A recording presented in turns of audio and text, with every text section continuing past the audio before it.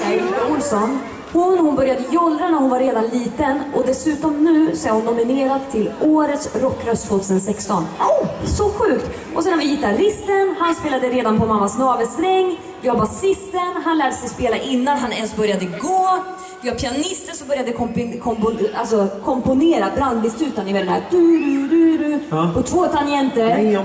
Han var hur liten som helst. Like. Och trummisen, han började som keyboardist. Men han kom på att han hellre ville slå sönder saker, vilket ju är högst naturligt. Absolut, och nu är de här på Voxfestivalen för att spela högt och tydligt för er. Låt oss presentera Loud and Clear!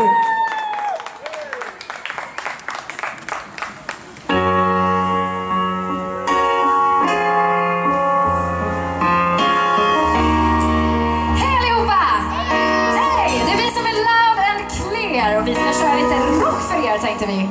Och lite annat också faktiskt.